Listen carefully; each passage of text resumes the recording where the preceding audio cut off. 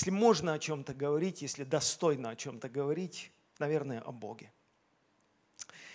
А, я бы хотел сегодня остановиться также на важном для меня моменте, моменте гарантий. А, мы живем в век, где люди все страхуют, а где страшно, где не доверяют, где хочется иметь гарантии. Начиная с дома, с семьи, где мы рождаемся, мы верим папе и маме.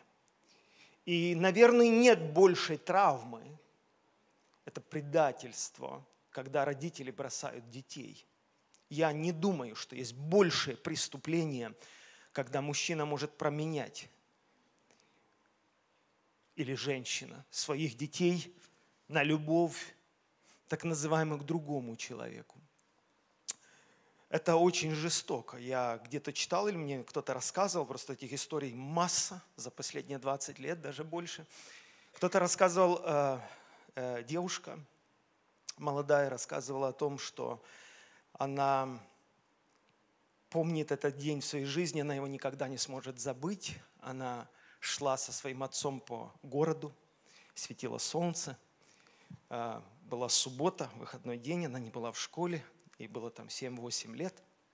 Она шла по городу,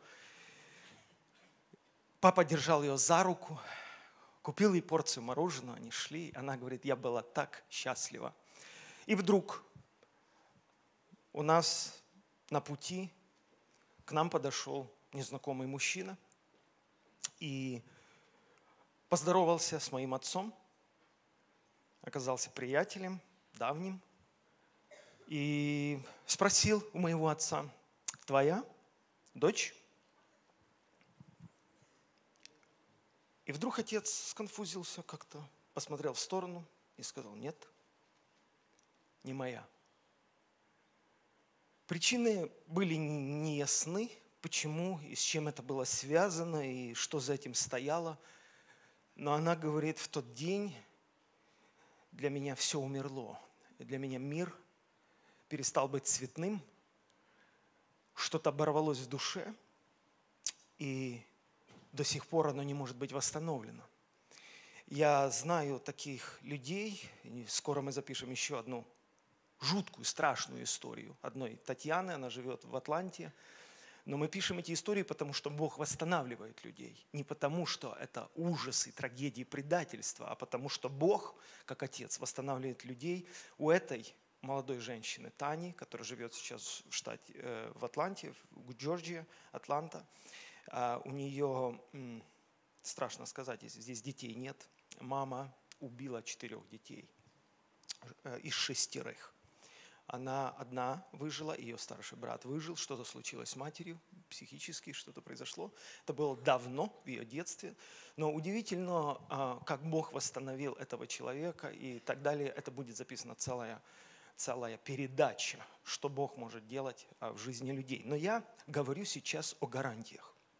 Я говорю о том, насколько важно иметь а, внутреннюю уверенность, что, что Бог не такой, как люди, что люди бывают неверными. А, я знаком с одной молодой женщиной, которая сидела однажды у меня за столом в офисе и рассказала такую историю я хочу рассказать. Она уверовала в 17 лет в Иисуса, чистая душа, прибежала в церковь, Бог ее простил, она была рождена свыше, она выходит замуж за молодого человека, который был успешный, процветающий проповедник в этой церкви. И через три месяца, это начало 90-х, его приглашают в Соединенные Штаты, голова идет кругом, у него большой успех, и э, он на месяц едет туда, якобы учиться там, посетить ряд американских церквей, и через месяц, после очень скудной переписки со своей женой молодой, он пишет ей большое письмо, в котором сознается, что он гомосексуалист. Он больше домой не вернется. И э, это был такой удар, что девушка слегла, Она оказалась в больнице, а у нее было очень сильное истощение организма. Если бы это не история и не человек, который сидел у меня за столом, я бы просто не мог поверить в такие ужасы, в такой исход некоторых трагедий. И потом закрадывается подозрение вообще, ко всем людям закрадывается подозрение, ко всем мужчинам. Короче, травма. Травма настолько огромная. Вот когда ты душу открываешь, настежь, да? Я когда-то писал своей жене, потому что мы сидели с ней за столом, я смотрел ей в глаза. А, у меня ни одной еще мысли не было о том, что она будет моей женой. Но я смотрел ей в глаза, и я увидел в этих глазах печаль о детях, дети, это был церебральный паралич, это были дети-инвалиды, и э, мы сидели просто за столом, и она говорила, как вот помочь этим детям, вот что мы можем сделать больше. Мы в то время, мне было 20, э, мы загружали контейнеры, привозили их в Россию сами. Нас никто об этом не просил. Мы сами зарабатывали деньги. Мы горели внутри, горели просто к этим людям любовью. Что умели, то делали. Умели мало. Я удивляюсь до сих пор, как оно все так было. И когда я просто смотрел ей в глаза, у меня родились такие строки уже чуть позже, да, когда я уже сделал ей предложение, родились такие строки «Спасибо за сердце, открытое настежь. Спасибо за веру в безверие век. Ты с неба на землю упала на счастье, горячей звездой в холодный мой снег. Спасибо за сердце, открытое настежь. Спасибо за веру в безверие век, что путник нашел свой ночлег. Э, и мне кажется, что вера в наш век очень важна. Потому когда мы приходим к Богу, приходящий к Богу должен веровать, что Бог есть, и ищущим Его воздает. Я не знаю, как у вас, но у меня закрадывались сомнения, подозрения и страхи. А, на что я могу опереться? Насколько велики гарантии того, что я вообще дойду? Дойду до Царствия Небесного. Вообще есть ли такие гарантии? Или их нет? И зная себя как слабого человека, с огромными искушениями вокруг, я задавал этот вопрос сам своей душе. Каковы гарантии того, что Бог, начавший во мне свое доброе дело, совершить его до конца? Мне не столь важно начало, мне важен конец, мне важен финал. Мне важно дойти, добежать. Как кто-то сказал, не можешь идти, ползи, не можешь ползти. Хотя бы смотри в ту сторону Царствия Небесного – но ожидай оттуда избавления. Бог видит наше сердце. И я эти вопросы задавал. Я об этом думал. И некоторые ответы в разумлении от Бога пришли в мою жизнь, они стали огромным утешением для меня. Я хочу этими мыслями поделиться, потому что мы церковь, и мы вчера говорили утром о том, что мы обручены. Это уже огромная гарантия. Но, знаете, есть как бы теория, есть опыт, а есть теория, есть пережитое, есть какое-то внутреннее свидетельство. И мне бы хотелось поговорить и снова и снова опереться на тексты Священного Писания и показать, насколько Бог будет бороться за тебя до конца. Он настолько много в тебя инвестировал, что он не сдается. Вообще этого нет в его природе сдаваться – и первое, что я понял, что все начинается и все лежит в основе избрания. Мы избраны Богом. Он избрал нас во Христе.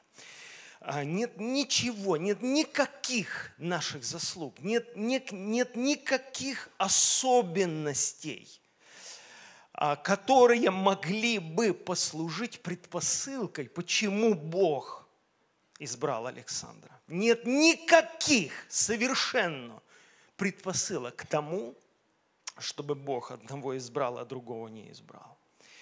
Есть только Божья любовь, и Он хочет, чтобы все люди спаслись и достигли познания истины.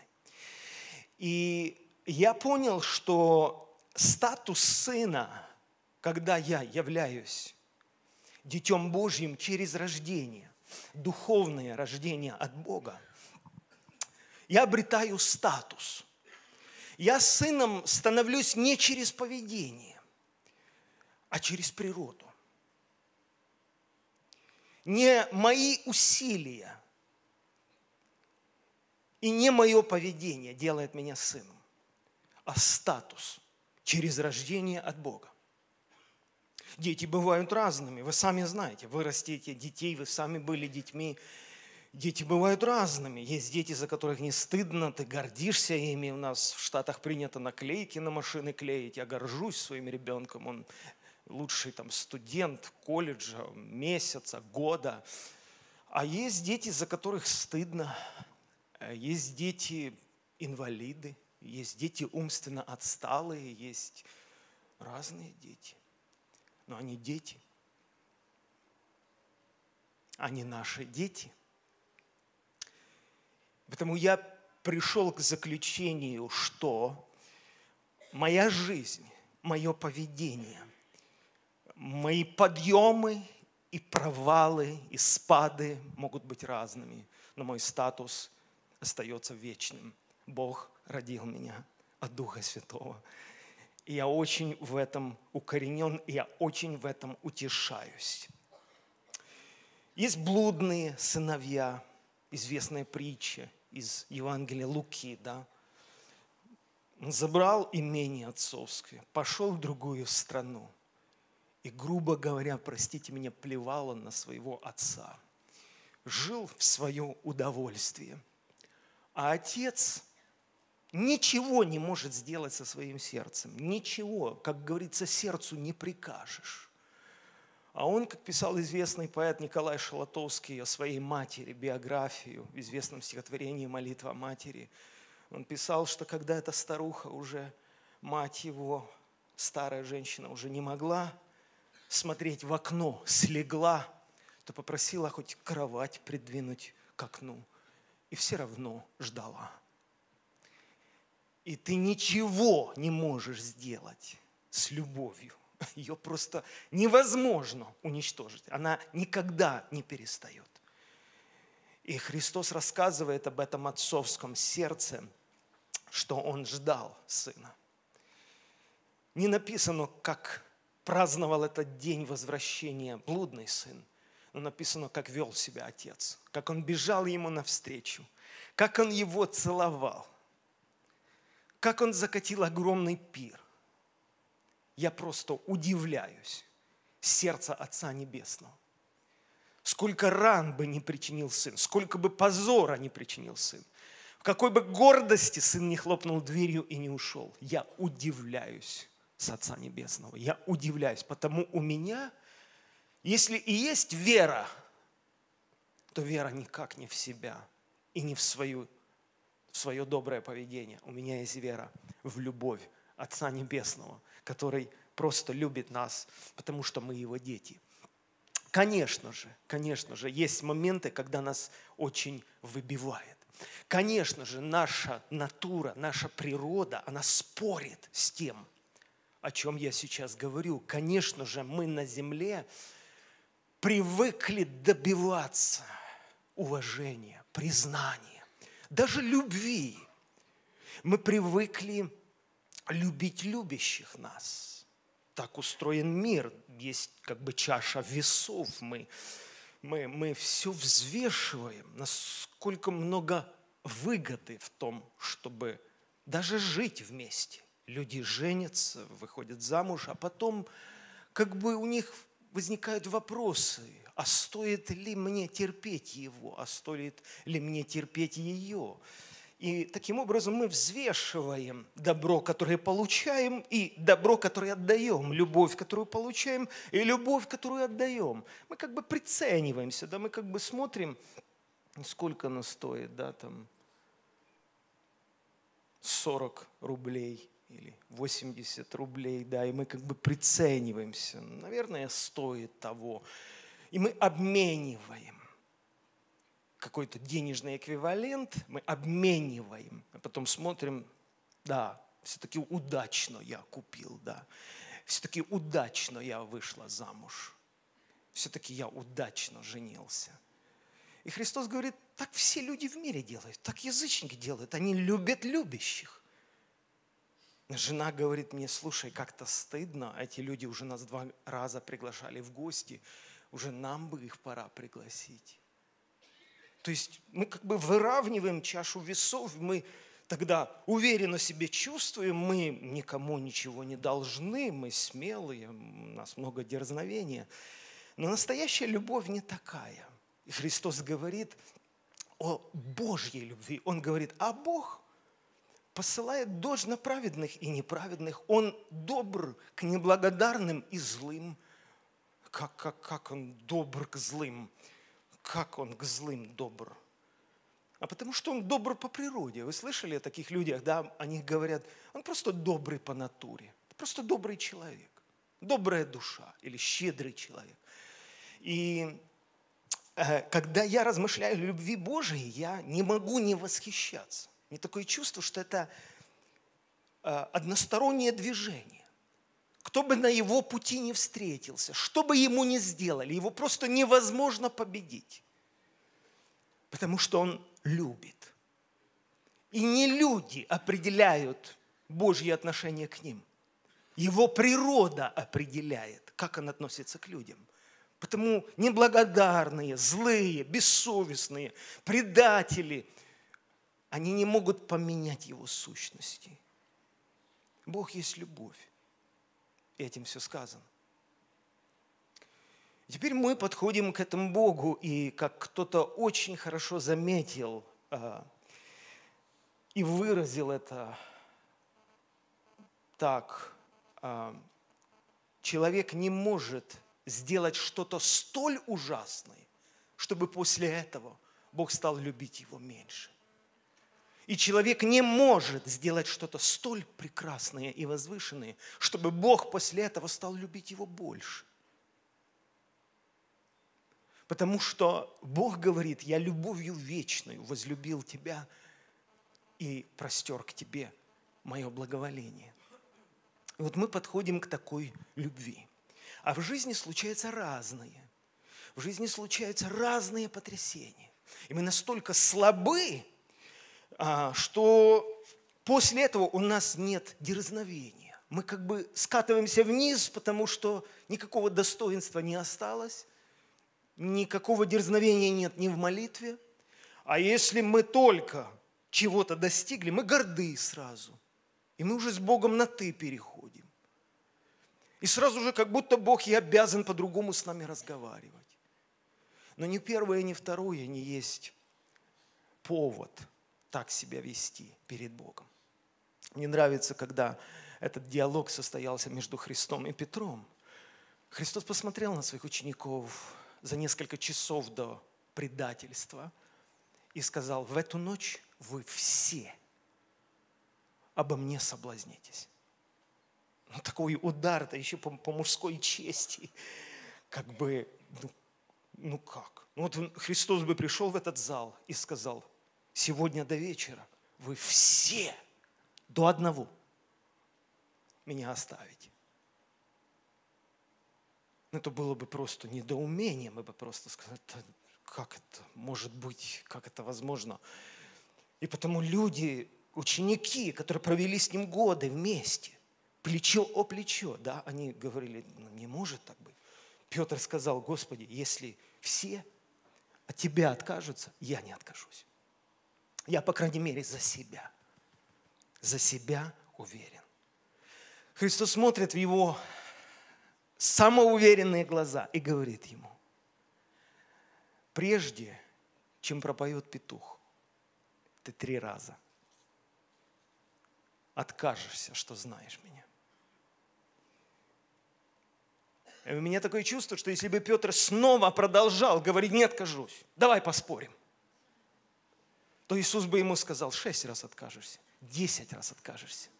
Ты будешь падать и разбиваться до тех пор, пока ты поймешь, что ты слабый, пока ты поймешь, что ты человек. Но я молился о тебе.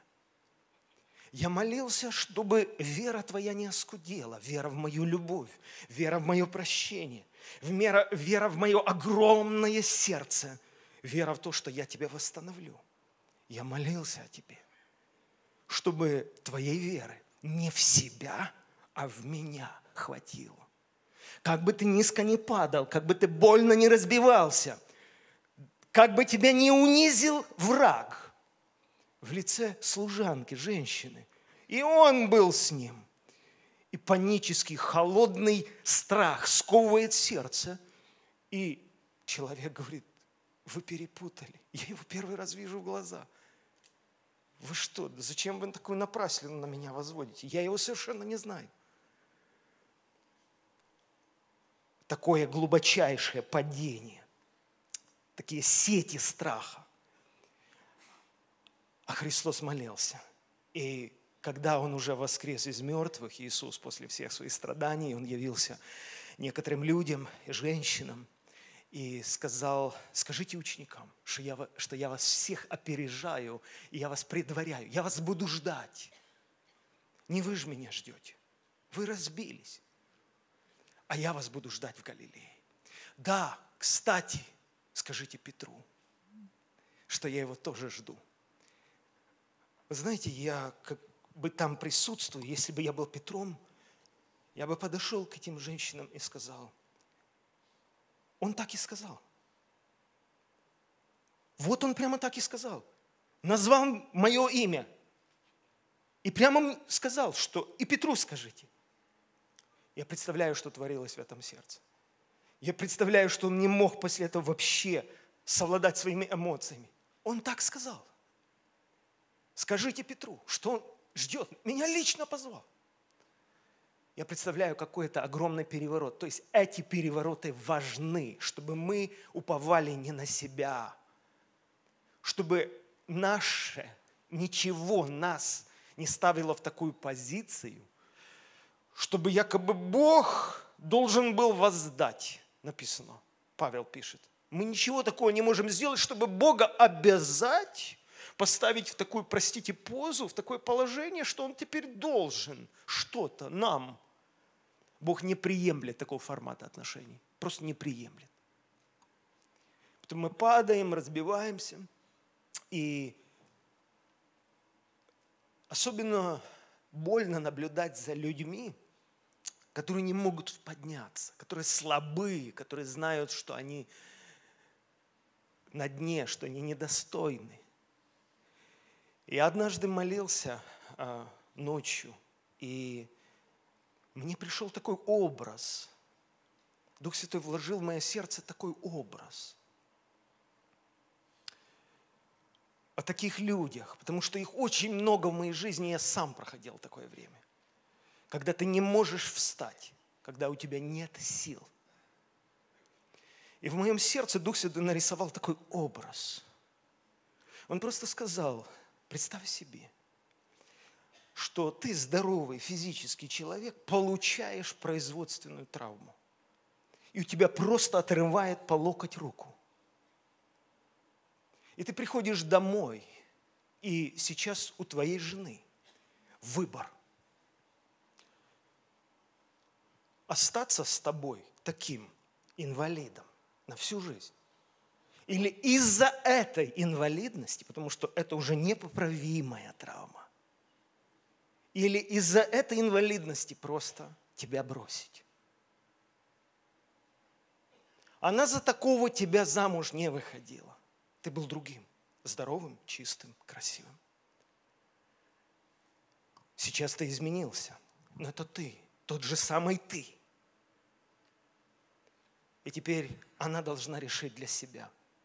Она из-за этого, именно из-за этого тебя оставит, или она тебя примет таким, потому что ты такой теперь. Я был настолько сражен, я был настолько потрясен тем, как Бог мне показал и сказал, я тебя люблю во всякое время.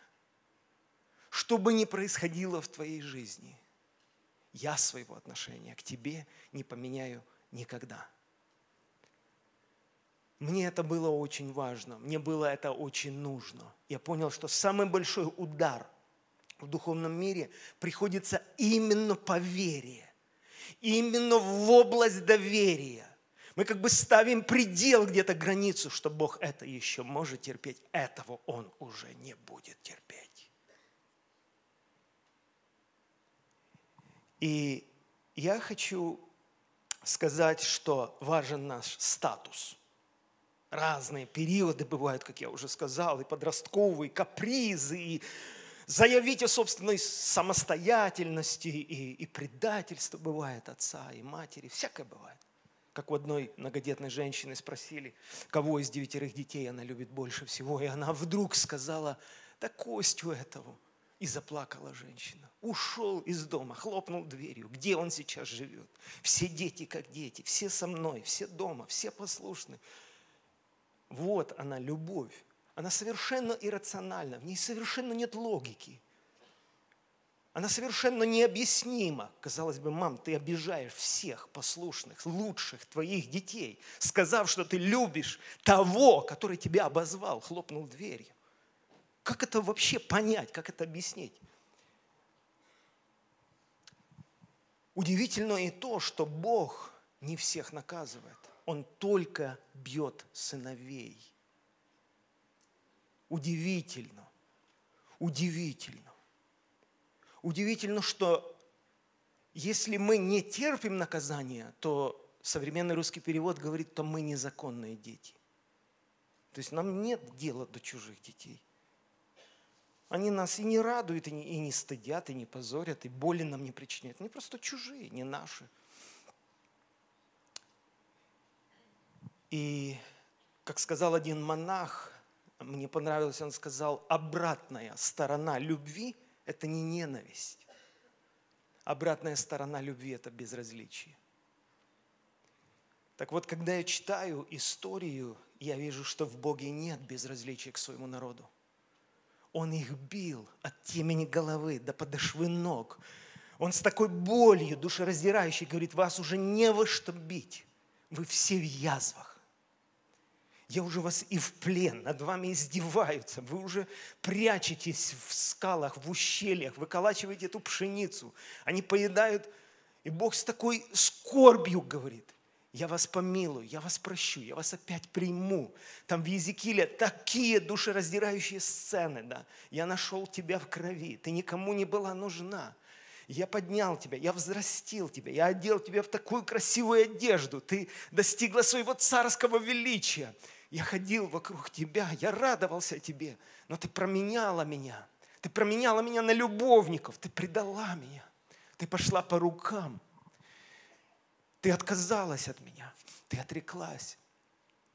Но Бог говорит в конце этой главы 16 Езекииля, я перечитывал множество раз, моя душа просто таяла, как воск. Бог говорит, знаешь, что я сделаю? Я тебя помилую. Я тебя так помилую, что ты рта не сможешь открыть больше. Я, я просто все тебе прощу. Вопреки всему, что ты сделала против меня. Я тебя прощу, у тебя рот не откроется ничего сказать больше обо мне.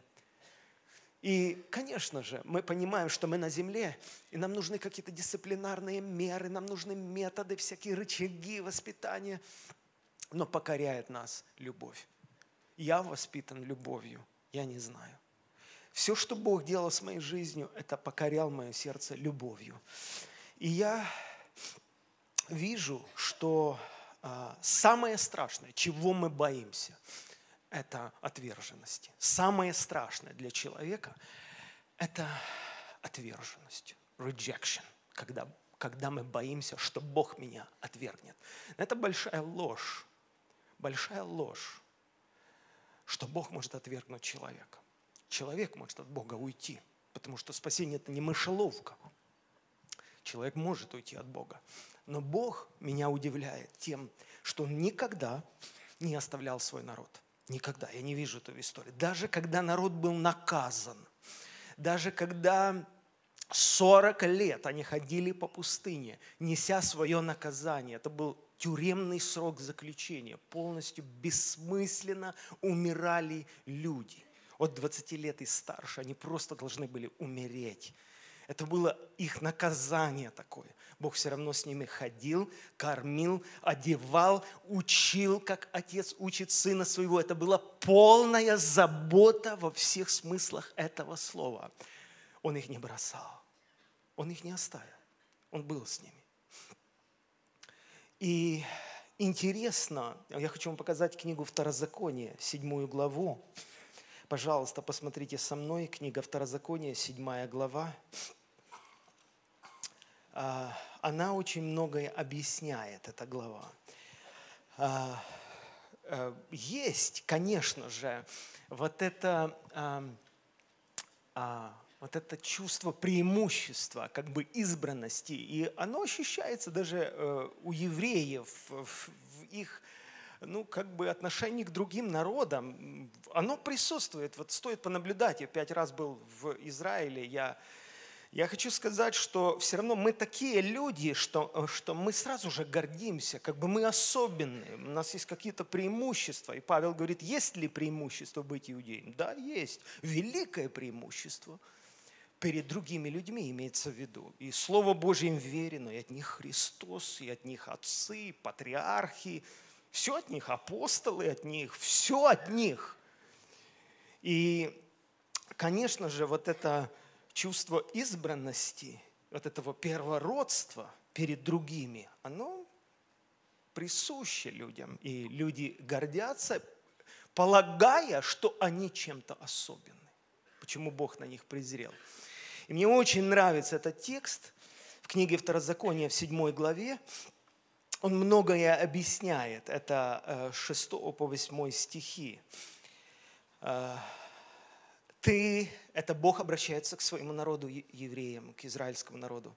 Смотрите, ты народ святой у Господа, Бога твоего. Тебя избрал Господь Бог твой, чтобы ты был собственным его народом из всех народов, которые на земле. Дальше. Не потому, я, я осторожно прочитаю, не потому, чтобы вы были многочисленнее всех народов, принял вас Господь и избрал вас – ибо вы малочисленнее всех народов. Но потому, что любит вас Господь. И для того, чтобы сохранить клятву, которую Он клялся отцам вашим, вывел вас Господь рукою крепкой и освободил тебя из рабства. Три основных причины, которые гарантируют, что Бог будет с этим народом. Первое – ты избран. Тебя избрал Господь. Никаких твоих признаков, особенностей, достопримечательностей нет. Может, ты думаешь, ты сильнее, ты умнее, ты благороднее, ты чище, не знаю, ты образованнее, ну не знаю, ну, ну что? Так хочется в себе отыскать какую-то изюминку и понять, а все-таки Бог посмотрел на меня. Нет, неправда. Он разбивает эту теорию и утверждает, Первое, я просто тебя избрал, чтобы ты был моим собственным народом. Раз. Номер два. По какой причине? Потому что я тебя люблю. Вообще, любовь, об этом можно отдельно разговаривать. Это такой феномен, это такое просто потрясение, я бы сказал, что встречаясь с любовью, мы ее не можем ни объяснить, ни понять. Вот когда я читаю песни песней, и там описываются взаимоотношения большой любви между а, Суламитой и, э, ее женихом. Она его прославляет. Она говорит, что он лучше десяти тысяч других. Она, она описывает его, она видит в нем все это. А потом она говорит, я отперла дверь мою, а его нет, а он ушел. Он стучался ко мне, и он ушел. И она бежит по улицам – она встречает ночные стражи. Ее останавливают другие девушки молодые. Говорят, слушай, чем он лучше десяти тысяч? Чего ты за ним убиваешься? Чего ты так унижаешься вообще? Посмотри на себя, на тебе лица нет. Ну, бросил тебя, да и бросил. Другие за тобой ходят. Не унижайся так. А она ничего сделать с собой не может. Она говорит, стражи ночные избили меня надругались надо мной. Все смеются надо мной. Я как дура бегаю за ним. Простите, да? Я не знаю, что со мной происходит. Она говорит, если вдруг, она заклинает всех, кого встречает.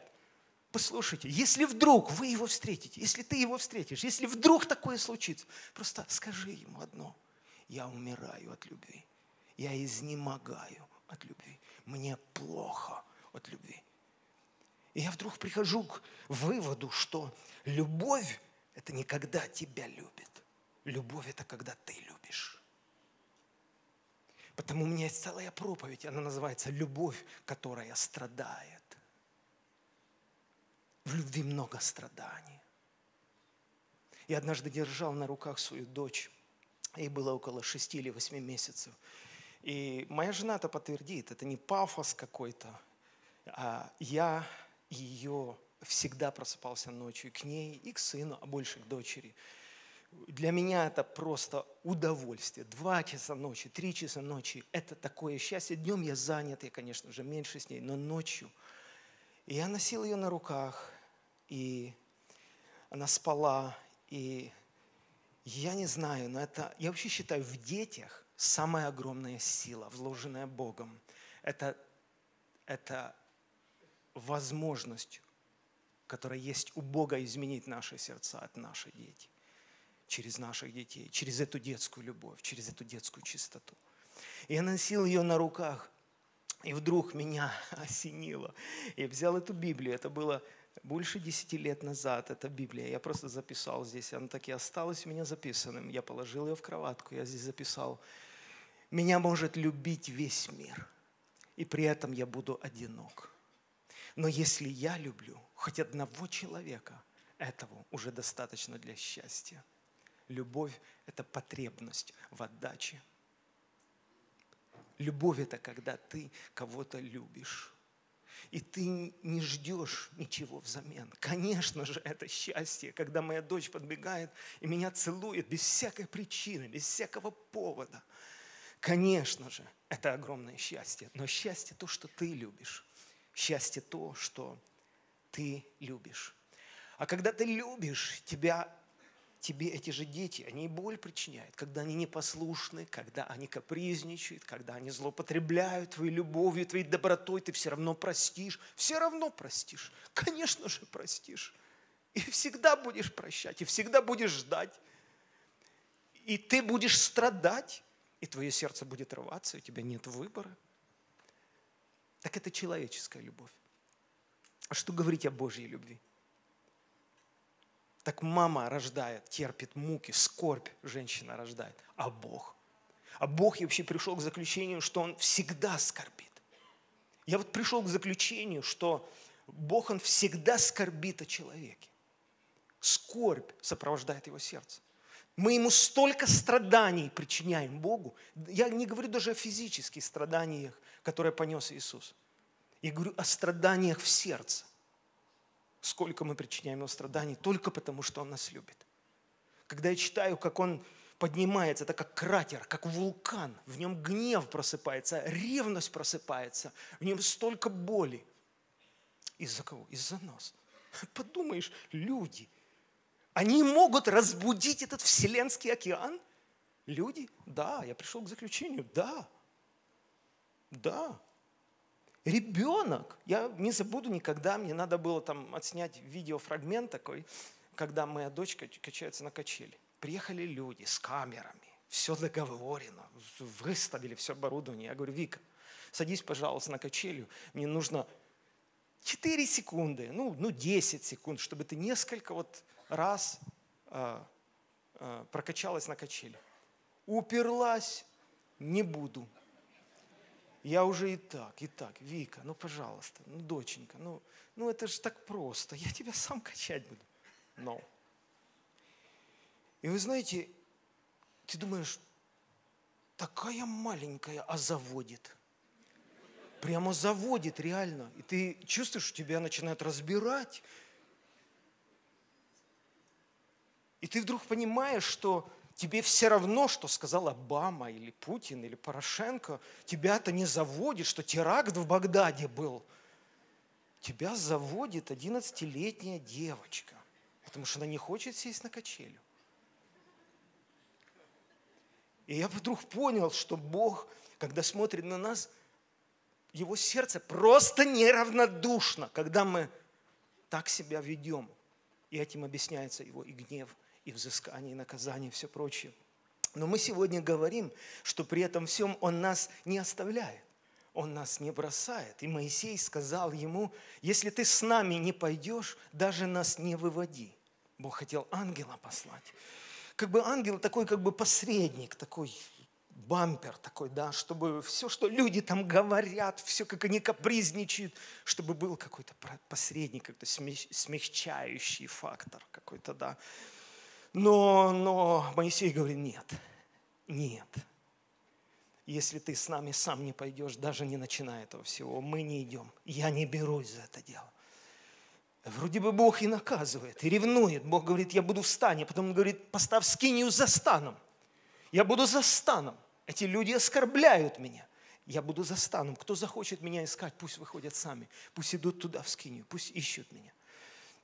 Вот так складываются отношения между Богом и людьми. И между тем, между тем, Он никогда не оставляет людей, никогда не покидает людей. И я хочу остановиться на одной потрясающей истории, которая записана в Ветхом Завете, и посмотреть более углубленно. Это первая книга царств. Э, начнем с четвертой главы. Э, посмотрим на эту необычную историю, которая произошла э, с Израилем.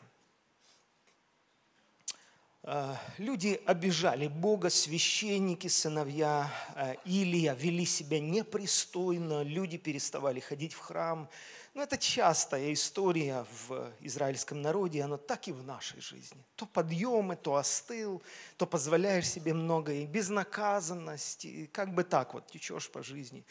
Короче, у них случается война, война с э, филистимлянами, когда войны, когда нас давят, когда наступают на пятки, мы, конечно же, к Богу, а куда? И случилась война с филистимлянами, и филистимляне разбили стан еврейский.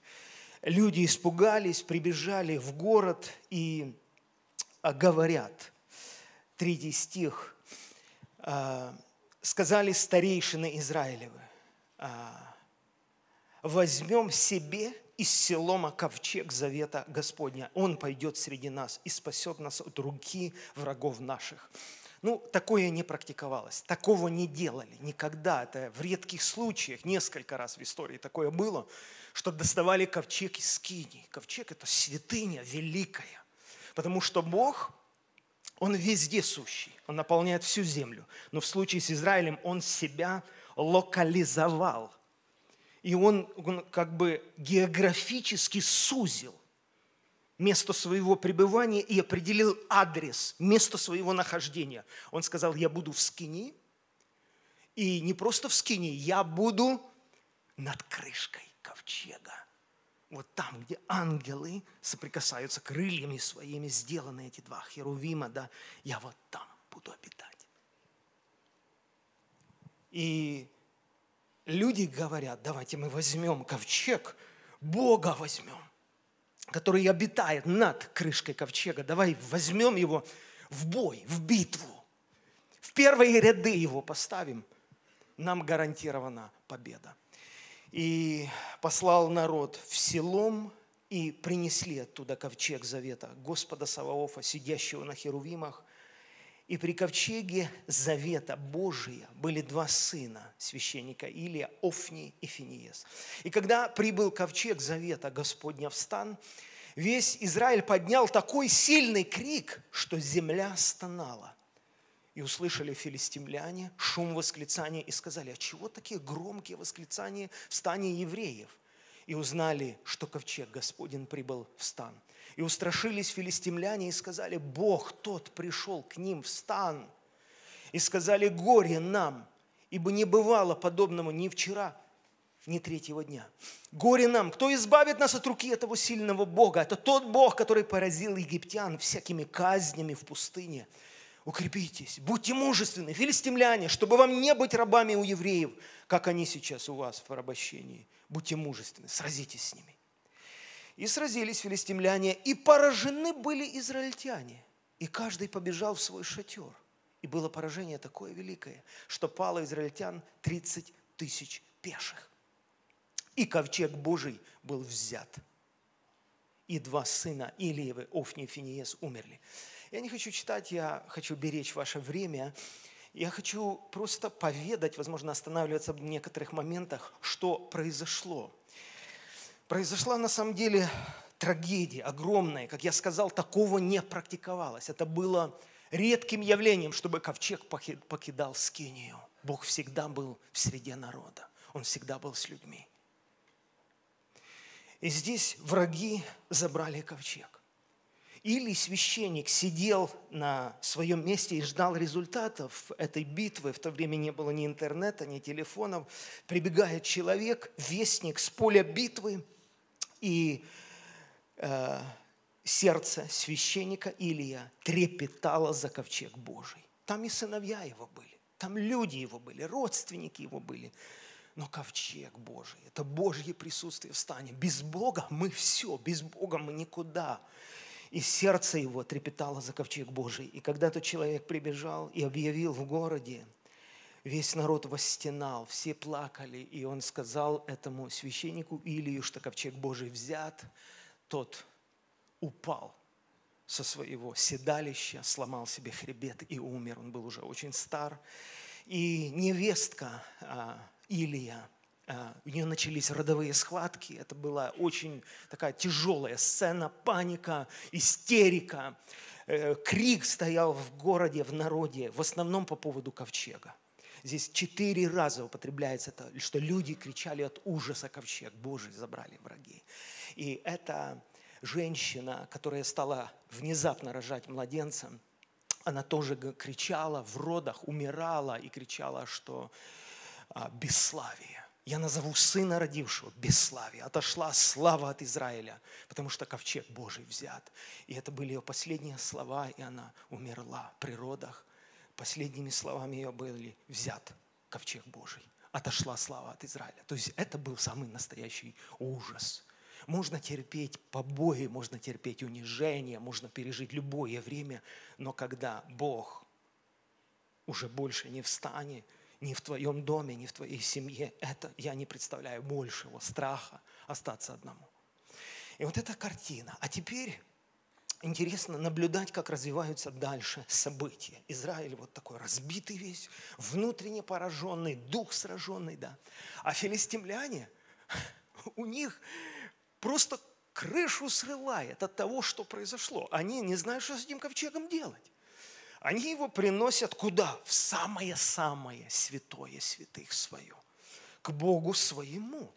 У них свой Бог, они, они язычники, у них Дагон, их Бог. И они приносят теперь а, ковчег завета в капище, к Дагону, поставили рядом. Вообще языческая ментальность, и очень легко понять. Чем больше богов, тем лучше. На всякий случай, на все случаи жизни нужны боги. И еще один бог, да, да вы что, да еще какой? Это ж вообще пополнить коллекцию богов, это, это, вообще восторг. И они этого Бога принесли, поставили в капище Дагона. У них был пир, праздник. Встают утром, Дагон лежит. Лицом, ну, лицом не назовешь это, да, не знаешь, как и назвать. На земле. Они его подняли, поставили. На следующее утро снова лежит только уже руки и ноги отломанные, он полностью разбит. У них начинается тревога, что делать с этим ковчегом а, завета, что делать с этим Богом. И они его начинают дарить друг другу. Э, то в один город, то в другой. И так четыре города. Они такой вот гифт делали, подарок. И а, в какой бы город они его не приносили, там начиналась такая паника – Э, потому что Бог поражал людей мучительными наростами на теле, гнойными ранами, очень сильными. И люди так вопияли, так кричали, что заберите этот ковчег, куда-то дарите кому-то. Но они не хотели избавиться от этого Бога. Это очень дорогой подарок. Это присутствие Бога еврейского теперь у нас, у филистимлян. И в итоге После того, как четвертый город уже Аскалон возопил, И они позвали всех своих гуру духовных, всех лидеров своих духовных и сказали, помогите нам разобраться, что нам делать с этим ковчегом Божьим, как нам его, ну, так сказали, научите, как нам отпустить его в свое место. Что нам делать? Ну, эти, как говорится, почесали затылки, говорят, слушай, а может это совпадение, что вот так все оно происходит? Давай мы проведем такой эксперимент. И они предложили очень необычный эксперимент. А, они сказали так, «А, возьмите две молодые коровы, телицы, которые только родили телят, а, запрягите их в телегу, поставьте ковчег на а, эту телегу и отпустите их, этих коров. А телят удержите дома. И если а, эти коровы пойдут к пределам своим в сторону Израиля сами, не гоните их, не тащите их туда. Если они сами пойдут туда, то тогда это не совпадение. Просто ковчег должен вернуться в свое место, в стан. То есть, почему они предложили такой эксперимент? Потому что корова, она не может оставить своего теленка, она рвется к своему э, ребенку, так можно выразиться, да? И когда они запрягли этих коров, то мы читаем, что э, эти коровы шли прямо на дорогу к городу Вифсамису в сторону Израиля, шли и мычали. То есть они рвались сердцами. Их инстинкт животный, материнский, тянул их назад. Но какая-то сила неведомая заставляла их идти вопреки их животному инстинкту, и они шли и мычали, но не уклонялись ни направо, ни налево. И все эти владетели филистимские, вся эта знать следовала за ними до пределов Вифсамиса и наблюдали эту сцену. Надо же, ковчег возвращается домой.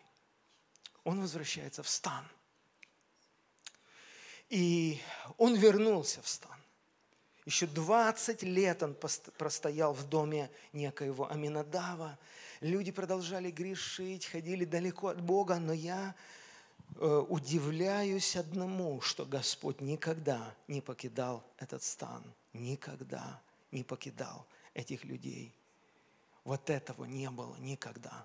Люди могли оставлять Бога, люди могли уходить, но когда они искали Бога всем сердцем, Он давал им найти себя. Почему я об этом говорю? Потому что мы а, нуждаемся в определенных гарантиях, чтобы успокоиться внутренне и довериться Богу. И я хочу предложить вам в заключение четыре текста из Нового Завета, которые, на мой взгляд, ну просто изумительны. Они выступают огромной гарантией э, для меня, как для верующего человека, что Господь меня сохранит для вечной жизни. Для меня это важно.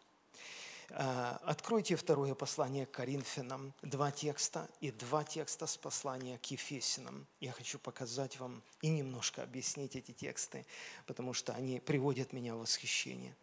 Послание к Коринфянам, э, второе послание к Коринфянам, э, пятая глава, четвертый и пятый стихи.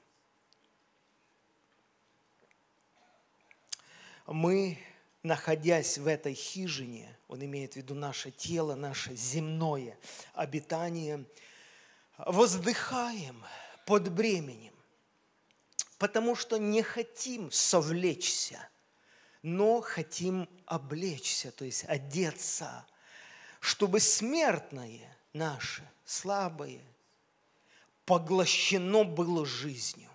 Еще раз, чего мы хотим? Чего мы хотим, как люди?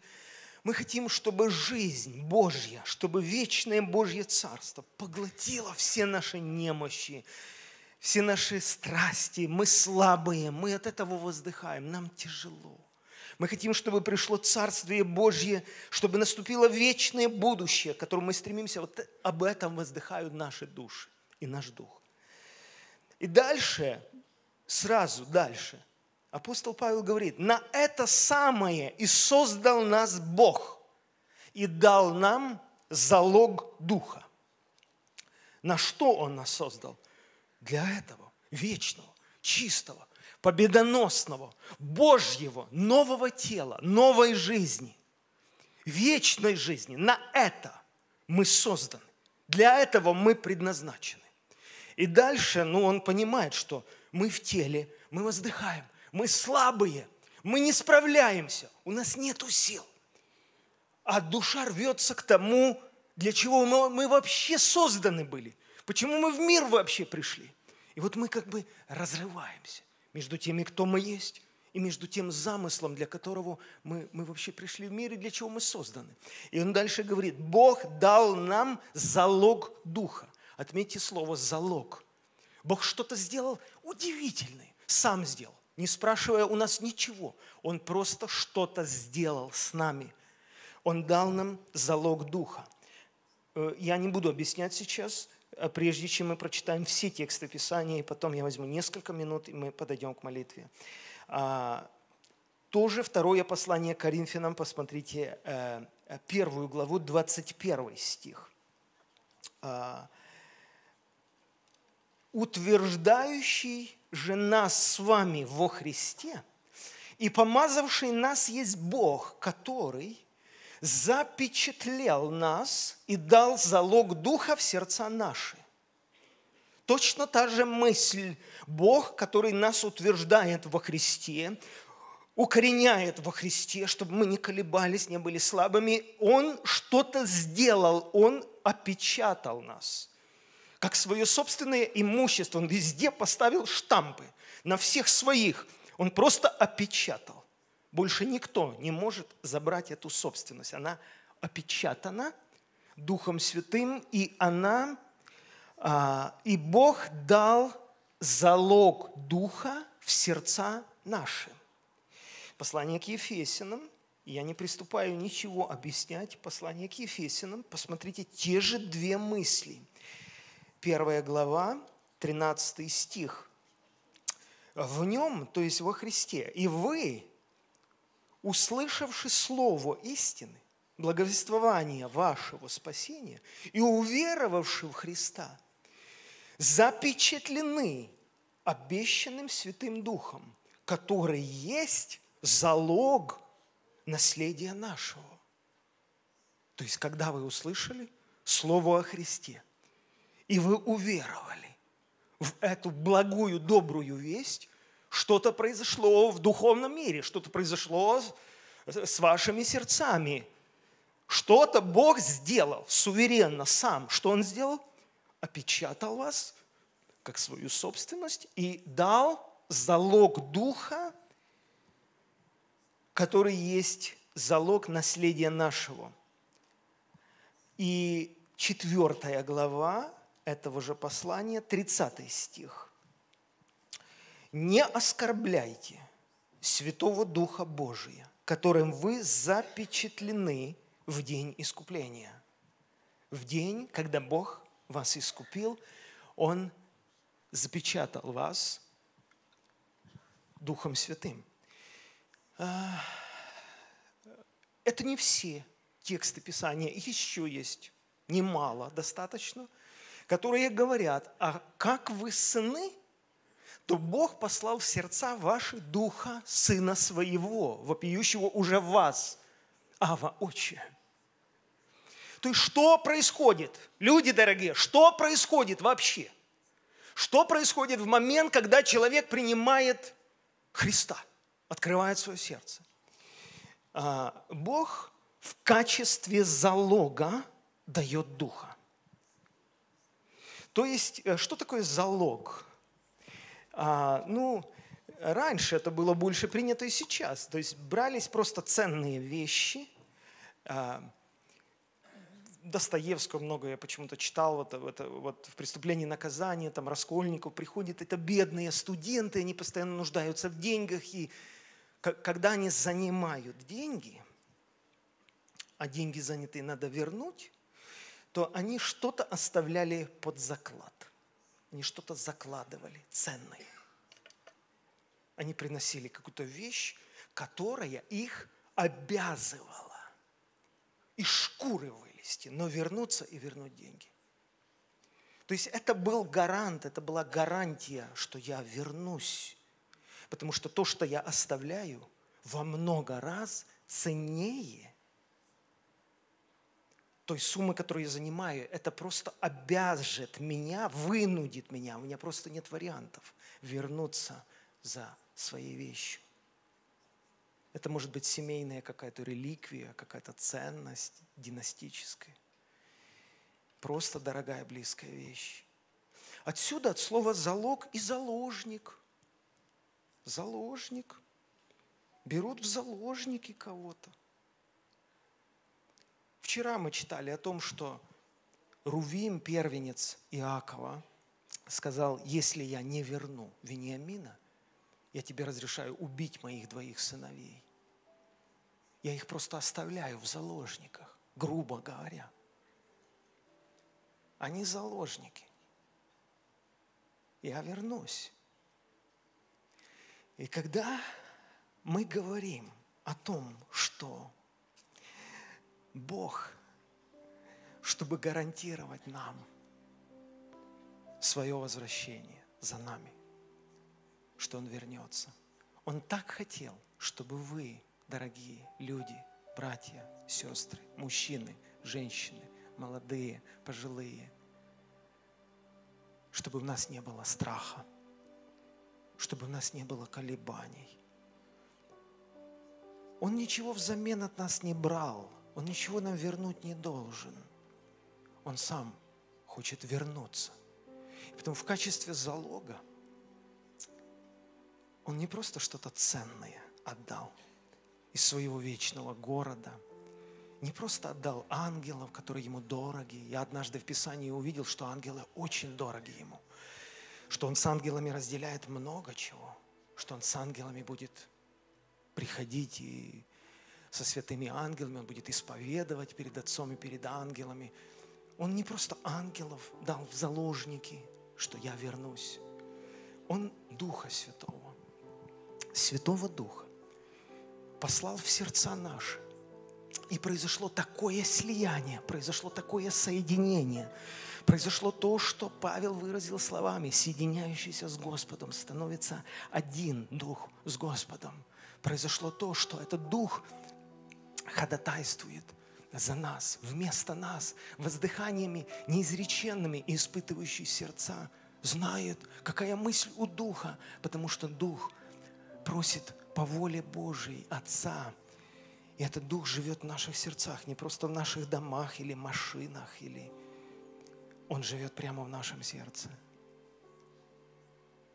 Я не знаю, как вы, но я точно знаю, что Господь этим говорил, я пойду.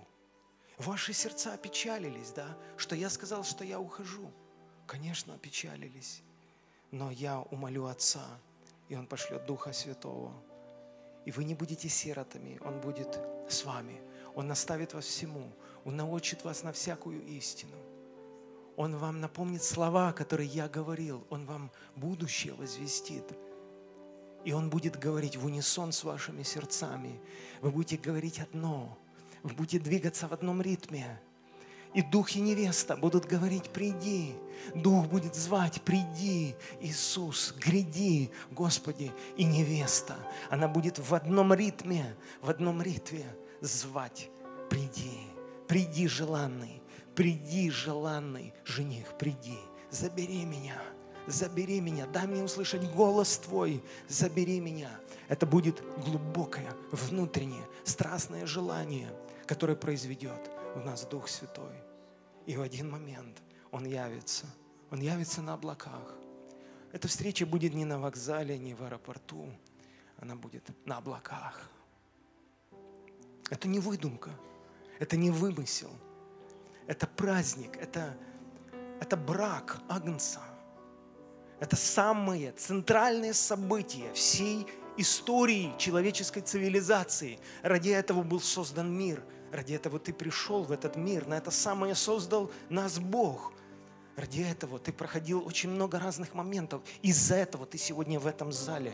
Из-за этого все боли, потрясения. Из-за этого кто-то когда-то встретился на твоем пути, сказал тебе об Иисусе. Что-то произошло в твоем сердце. Увидь эту огромную, большую картину, что Бог наблюдал за всеми твоими путями, за всеми твоими стезями. Потому что в огромном Божьем замысле ты должен быть в этой картине.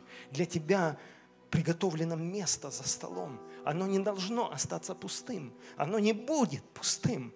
Оно просто не будет пустым, потому что все начинается с избрания. Тебя избрал Бог. Было время, когда мне было очень страшно. Я читал разные учения, я общался с разными людьми. Я понимал, что праведник едва спасается. Как же я спасусь? Но пришло время, когда я просто сказал, Господь, ты послал Духа Святого в мое сердце. И Дух Святой совершит это спасение до конца. Начавший во мне свое доброе дело, Он совершит его до конца. Он меня доведет. Я Ему верю больше, чем себе. Я верю, что это залог. И Он сегодня на земле. И я вместе с Ним жду и взываю, чтобы пришел Иисус, чтобы наступило Его вечное царство. Сегодня я проснулся в 5 часов утра – и я сел читать и читал почему-то книгу Откровения, да, и там эти чаши гнева, как они будут вылиты на землю, на солнце, на воду, как превратится море в кровь, реки превратятся в кровь, как люди будут кусать языки свои от страданий, они будут хулить Бога, во власти которого были все эти язвы. Солнце будет сжечь их, откроются нарывы, гнойные раны – на телах людей. Они будут знать, что Бог наказывает их, великую блудницу в Вавилон. И нас там не будет. Нас среди этих людей не будет. Мы будем жить на новом небе, на новой земле. Этим заканчивается книга Откровения. Я хотел бы прочитать в заключение эти несколько удивительных слов из последней книги, из последней главы.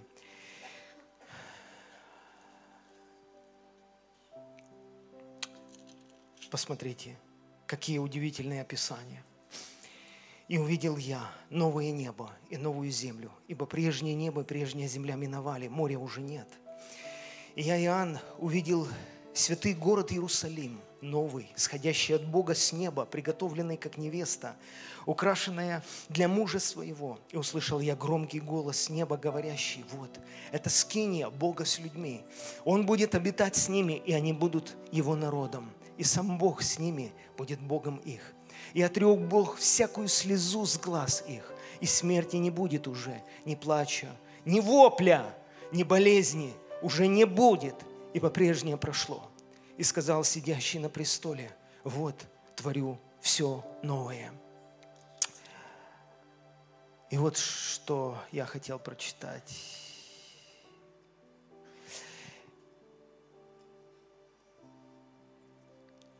Девятый стих. «И пришел ко мне один из семи ангелов, у которого было семь чаш, наполненных семью последними язвами, и сказал мне, пойди, я покажу тебе жену, невесту Агнца. Я покажу тебе жену, невесту Агнца. И вознес меня в духе на великую и высокую гору, и показал мне великий город, святой Иерусалим, который не сходил с неба от Бога, он имеет славу Божию. Светило его подобно драгоценнейшему камню, как бы камню яспису, кристалловидному. Он имеет большую высокую стену и 12 ворот. На них 12 ангелов. На воротах написаны имена 12 колен Израилевых. С востока трое ворот, с севера трое ворот, с юга трое ворот и с запада трое ворот.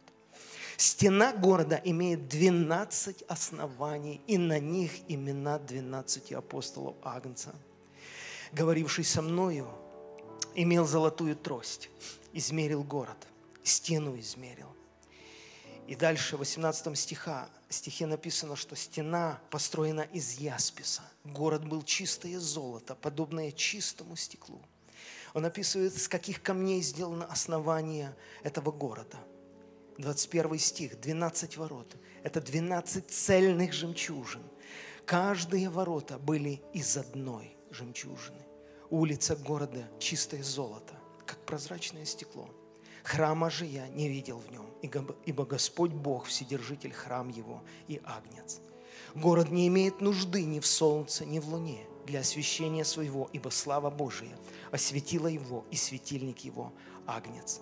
Спасенные народы будут ходить во свете его, цари земные принесет в него славу и честь свою. Ворота его не будут закрываться днем, а ночи там не будет. И принесут в него славу и честь народов, и не войдет в него ничто нечистое, и никто преданный мерзости и лжи, а только те, которые написаны у Агнца в книге жизни. Давайте поднимемся на ноги, пожалуйста. Я верю, что Бог предусмотрел о нас нечто лучшее. Я верю, что Бог избрал тебя и меня для себя. Просто из своей любви. Просто потому, что Он не может по-другому. Потому что Бог есть любовь. Перед этим Богом преклоняется моя душа, мое сердце. Эта любовь пленила мои помыслы, мои размышления. Эта любовь покорила, покорила меня от юности, от отрочества, покорила меня в самые лучшие, в самые счастливые дни моей жизни, в самые прекрасные дни моей жизни. Мои устремления были к Богу. Я помню даже в 6 часов утра, когда я проснулся в день своей свадьбы, я думал о нем. Я просил Его прийти, это было почти больше 18 лет назад, но я просил, Иисус, Ты только приди в этот день, Ты только положи свои руки на нас. Все земное проходит, но Ты только иди со мной по жизни, как Ты вел меня. Моя душа привязалась к Нему, просто прикипела. Просто это стало одно цельное и неслиянное, что-то удивительное, которое может сделать только Дух Святой. И я бы хотел, чтобы наши сердца были сегодня открыты чтобы в нас не было страха, чтобы мы позволили Духу Святому соединить наши сердца вместе с Ним. Потому что Бог вернется, Господь вернется, и наша встреча будет на облаках. Я бы хотел, чтобы наши души, они были настолько легкими, настолько развязанными, не плененными никакими страстями, непрощением, обидами, всякой ложью, чтобы мы были как воздушные шарики, которые рвутся туда. И стоит развязать эту ниточку, и он улетит. Я бы так хотел об этом помолиться, чтобы твоя душа была настолько легкой, чтобы она просто мечтала и ждала этого нового времени. Если тебя что-то и держит на этой земле, чтобы это было только тело твое и только время, в которое Бог тебя поместил, и миссия, которую ты должен выполнить на земле. Но чтобы душа, да, душа твоя, потому что ты и есть душа живая, чтобы душа принадлежала тому миру, горнему, чтобы мы об этом помышляли, чтобы туда были наши устремления. Потому что на земле бывают разные периоды, но чтобы душа, она рвалась к своему жениху, к своему возлюбленному, чтобы мы ему писали стихи. Мне так понравилось, что церковь, эта поместная, издала сборник стихов, чтобы душа ему пела песни, чтобы душа ему выражала свою любовь. И Господь будет все это собирать в чашу. Ему это так приятно. Я вам скажу, я не знаю, что я мог дать вам в эти дни конференции, но я вам не обманываю. Я получил здесь так много – я так много взял для себя. Я так много вглядываюсь в ваши лица. Вы пришли к Богу, вы практически верующие люди в первом поколении. Большинство из вас. Я смотрю и понимаю, что те, которые были последними, становятся первыми. Что эти люди сегодня пишут песни, что эти люди сегодня прославляют Бога, что эти люди сегодня чтут Бога. Я хочу учиться у этих людей искренности, у вас, чистоте, простоте, детской этой легкости. Я хочу учиться у вас. Я хочу не очерстветь своей душой. Я ненавижу религию, Она связала людей, она загнала людей в колею. В религии нет Бога. Бог – это личность. И Бог хочет разговаривать с тобой лично, на «ты». Ты его ребенок, он не хочет никаких посредников. Он послал в сердце твое Духа Святого. И ты ему дорог. И он хочет с тобой, только с тобой иметь личные отношения. Мы не стадо просто людей, которых куда-то гонят. Мы люди, мы личности. Мы знаем голос своего пастыря, каждый. Мы не идем за чужим, потому что не знаем чужого голоса. И Он знает каждую свою овцу по имени и зовет по имени. Мы для Него не стадо, мы для Него люди, личности. Он знает все тонкости, особенности, через что ты проходишь. Все знает. Я не бросаю слов сейчас просто так. Я говорю тебе от Духа Святого сейчас. Он знает все тонкости, Он знает состав наш. Он знает, из чего ты составлен. Он знает мысли твои наперед. Он знает нутро твое. Нет еще слова на языке твоем. Он знает его совершенно. Он издалека знает мысли твои. Он знает все о тебе. От Него не надо прятаться. От Него некуда бежать. От Него можно бежать только во тьму, во мрак. Я хочу, чтобы мы шли к Нему, только к Нему, навстречу этому свету, навстречу этой любви, чтобы мы шли к Нему. Давай все закроем глаза и просто поблагодарим Его за это славное, великое спасение, которое Ему стоило – жизни, которая ему стоила всего, которая ему стоила всего, всего стоило.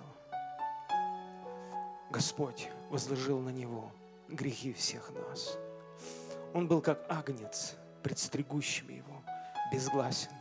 И он не отверзал уст своих. От уз и суда он был взят – и род его, кто и здесь нет.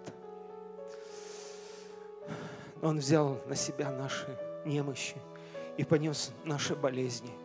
И ранами его мы исцелились. Он сделался проклятием вместо нас. Ибо написано проклят всякий, повешенный на дереве. Он взял на себя наши проклятия Ибо Ветхий Завет говорит, если в ком-то найдется преступление достойной смерти, ты повесишь его на дереве, то тело его не должно ночевать на дереве, но погреби его в тот же день, ибо проклят перед Богом всякий повешенный на дереве. Иисус сделался проклятием вместо нас, чтобы благословение Авраамова распространилось и на нас, чтобы мы стали наследниками этого великого и славного обетования. Мы, язычники, с нашими корнями языческими, с нашими дикими корнями, с нашими генами языческими, с нашими божествами, которые по Руси до сих пор бродят. Мы сегодня вошли в семью. Мы, которые когда-то были далеко, стали близкими кровью Иисуса Христа. И Он разрушил стоящую между нами преграду. Он упразднил вражду плотью. Он сделал в себе самом одного нового человека, устрояя мир. Он примирил нас с Богом. Он сделался умилостивлением за грехи наши. И не только за наши, но за грехи всего мира. Он посредник, Он стал между Богом, судьей, и мы приступили к судье всех Богу и к ходатаю Нового Завета Иисусу. И крови кропление, говорящее лучше, нежели кровь Авелева. Мы подошли к этому кресту, мы подошли Голгофе Твоей, Иисус. И мы с этого креста черпаем вечную жизнь. И мы протягиваем к этому кресту свои руки – и мы верою своей спустя две тысячи лет, но мы принимаем от этого креста прощение. И мы верою нашей, Господь, идем по жизни. Мы доверяемся Тебе, что Ты нас доведешь. Иисус, я молюсь о каждом человеке, кто может быть слаб в своей душе. И вера его слабая. И его терзают сомнения. И его сбивают люди и его сбивают, особенно в колледжах, очень много атеистических программ, очень много людей, которые сбивают студентов, молодых людей. Господи, я прошу Тебя, чтобы наша вера утверждалась не на мудрости человеческой, но на силе Божией. Господи, я прошу Тебя, чтобы эта печать Святого Духа, она прямо сейчас была ощутима на наших сердцах, на наших душах, чтобы мы ее почувствовали, эту огненную печать, этот штамп, когда Ты опечатываешь нас как свою собственность. Аллилуйя. Аллилуйя. Я принадлежу Тебе. Аллилуйя. Я Твоя собственность. Аллилуйя. Меня никто никогда не похитит из руки Твоей. Аллилуйя. Нет такой силы, которая может разжать Твою руку и вырвать меня у Тебя. Господи, я Тебе доверяю, доверяю свою душу, доверяю свою судьбу. Я доверяю Тебе своих детей. Я не буду бояться, я не буду жить в страхе. Я буду верить, я буду верить до конца. Я буду верить, я буду верить. Я не буду обижать Тебя неверием. Я буду Тебе верить. Я выбираю верить Тебе всегда, во всякое время, во время дня и ночи, во время любых обстоятельств. Я буду Тебе верить. Я буду верить и вверяю в руки Твои не только свою судьбу, но эту страну, эти города, эти бескрайние просторы, они в Твоих руках. Ты поставляешь царей, ты их снимаешь, ты силен смирять, ходящий гордо. Ты был Богом, ты есть Бог, ты останешься Богом. Ты будешь говорить последнее слово для этой земли. Ты будешь судить эту землю. Ты будешь продолжать шествовать по этой земле и спасать еще многих людей. И я верю, Иисус, что Твое Евангелие зайдет в самые отдаленные уголочки земного шара. Оно проникнет в самые отдаленные концы. И всякая душа, которая откроет свое сердце для этой доброй вести, она будет спасена, и она будет запечатлена Духом Святым, и она будет крещена в Духе Святом, и она Духом Святым будет крещена в одно тело. Иисус, я верю, я допускаю эту мысль, что мы то поколение, которое будет Тебя встречать. Я допускаю эту мысль. Но если не так, мы хотим прожить свою жизнь достойно Евангелия. Достойно. Достойно Тебя, Иисус. Я благословляю всех этих людей, чтобы мы жили достойно благовествования, чтобы мы знали, чьи мы дети, кого мы представляем в наших домах прежде всего, что видят дети в нас, что видят мужья, жены нас.